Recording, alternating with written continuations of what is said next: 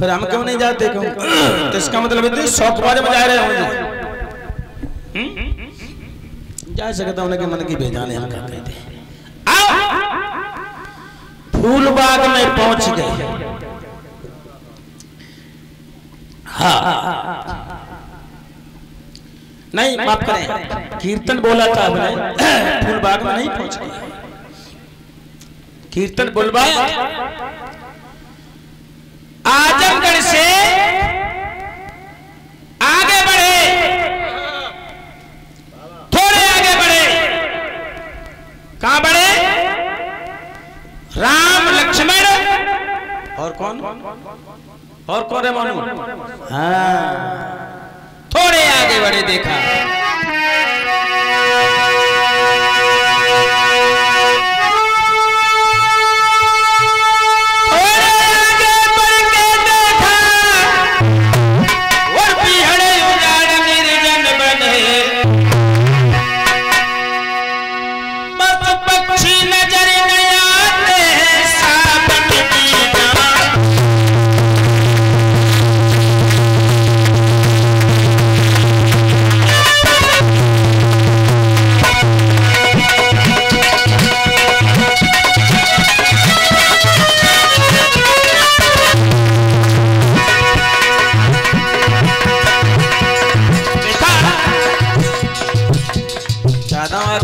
थोड़े आगे बढ़े जहाँ पशु पक्षी नज़र नहीं आ रहा है हाँ।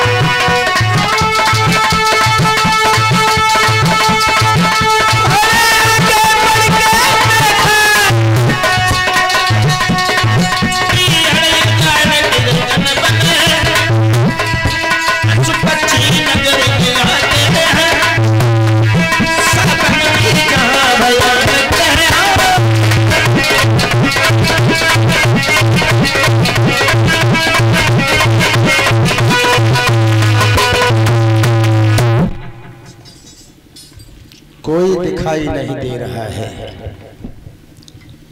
एक पत्थर की स्त्री पड़ी है उसी जंगल में राम ने सवाल कर दिया गुरुदेव ये पत्थर की स्त्री कौन है? बड़ी सुंदर है ये तो।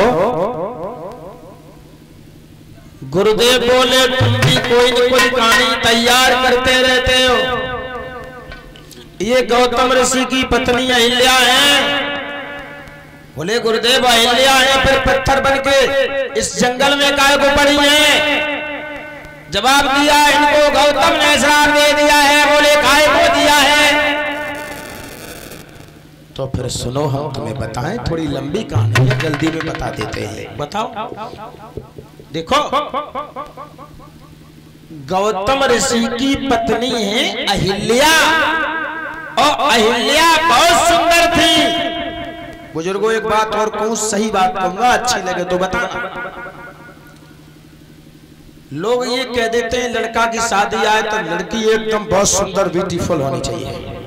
हम्म? लेकिन हम कहते हैं कि ज़्यादा सुंदर होना पूरे परिवार के लिए खतरा होता है। विशेष सुंदर होना, तुम जाँच करिए।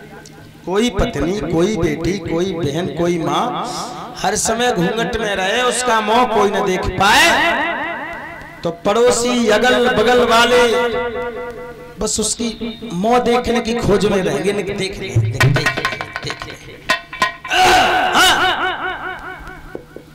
और जो मुँह झांकती है ना उन्हें कोई देखा तो ना हैं? और मेरा बहनों आपसे कहना है अगर कोई भी आदमी हो तो चाहे कोई भी आदमी हो अगर बात करनी है सबसे करो लेकिन किसी से बात करते समय हंसो नहीं।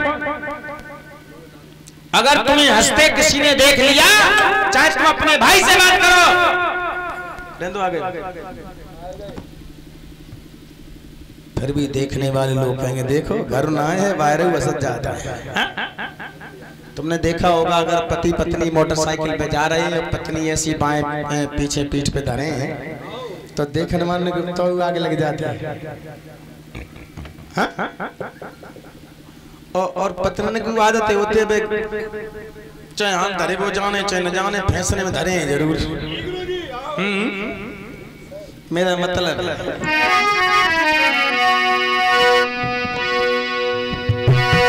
मैंने सेल का कहा था पाँच सेल में मैंने कोई लाया? ये नहीं गए। मैं बता दूँ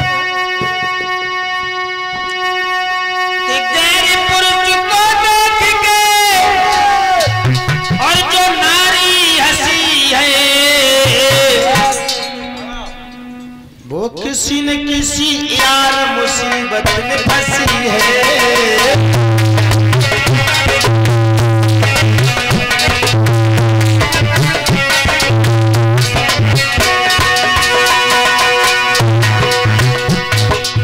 इसलिए बात सबसे करो, लेकिन हंसो नहीं। हंसने में काम खराब हो जाता है।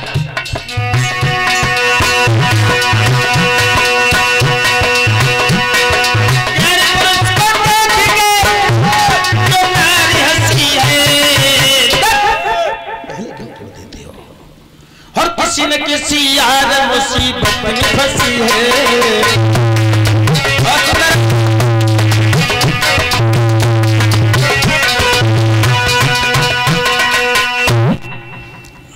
किसी न किसी यार मुसीबत में फंसी है। हल्का सा। ये गौतम ऋषि की पत्नी है। एक दिन इंद्र ने, ने देखा।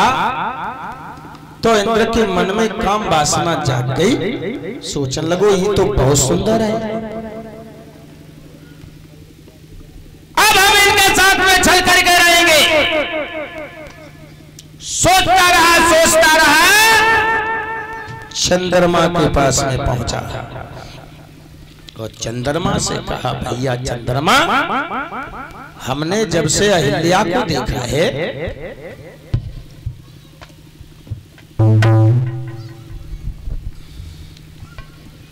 हमने जब से अहिल्या को देखा है तभी तो कहते हैं अपने घर में फालतू आदमी और पालतू कुत्ता ये कभी नहीं रखने चाहिए। बेटा?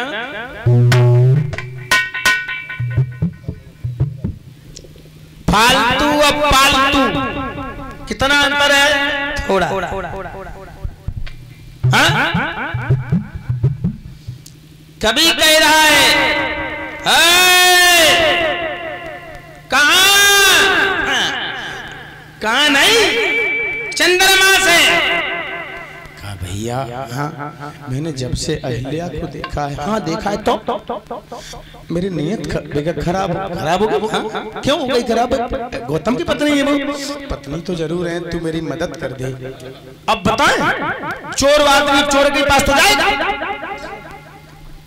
विचार उसी से मिलते हैं, जो अपने विचार वाला होता है।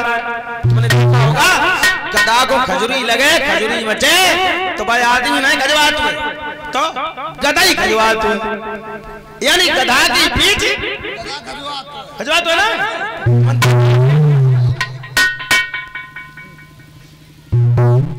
चंद्रमा की सत्ताईस और में थी अंकल। सत्ताईस। तो वो अपने गुरु की पत्नी को बजा जाएगा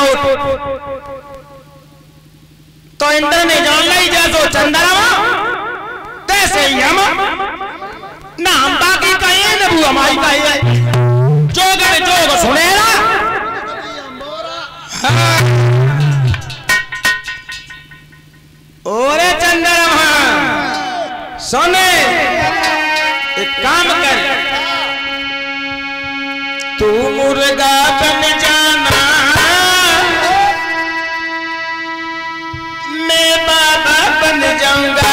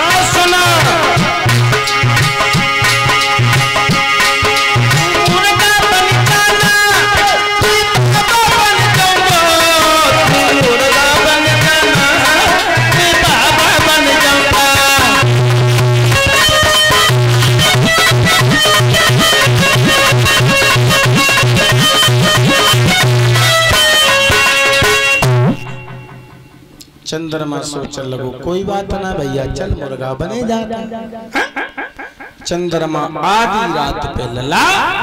परीक्षित महाराज बुना सो।